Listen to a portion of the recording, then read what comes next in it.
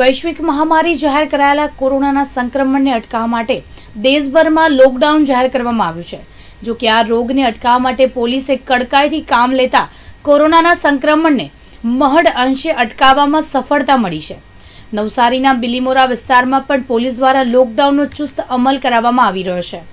બિલમોરા ખાતે પોલીસનો માનવતાવાદી રૂપ પણ બહાર આવ્યું છે.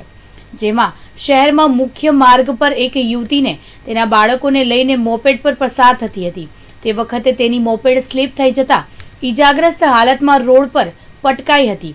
જો કે આ વખતે ફરજ પર હાજર એવા પોલીસ અધિકારી સહિતનો પોલીસ સ્ટાફ દોડ મૂકીને ઈજાગ્રસ્ત યુવતી અને તેના નાના બાળકોને પોલીસ વાનમાં જ હોસ્પિટલ પહોંચાડીને સારવાર કરાવી માનવતાનું કાર્ય કર્યું હતું. પોલીસની આ કામગીરી બદલ લોકોને સરાહના કરી અભિનંદન આપ્યા હતા.